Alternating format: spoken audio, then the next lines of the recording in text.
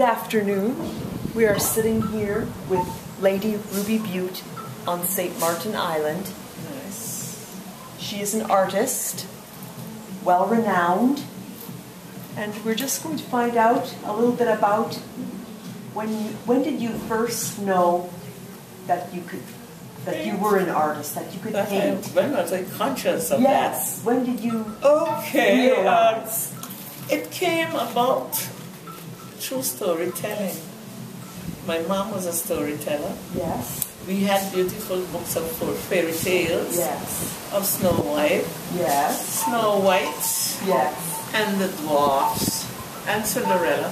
But those were books, such beautiful illustration.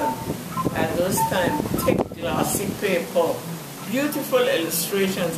And I used to be so excited. I listened to the story, Right. but I looked at the beautiful colors in the illustrations.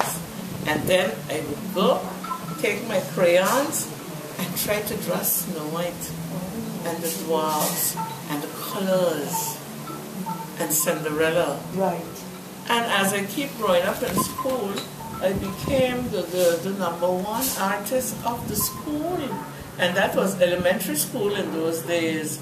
And I, when it was Christmas time, a St. Nicholas, because the Dutch celebrated St. Nicholas, I would be the one to decorate the blackboard in the school and to draw St. Nicholas and his beautiful white horse. I was always chosen to decorate the school boards, the blackboards Right. in the schools. And then I don't know if you can remember, Bonnie, when we had the poesy books. That was like in the 60s in my Yes. teen years. We used to exchange our books with little Right. poems.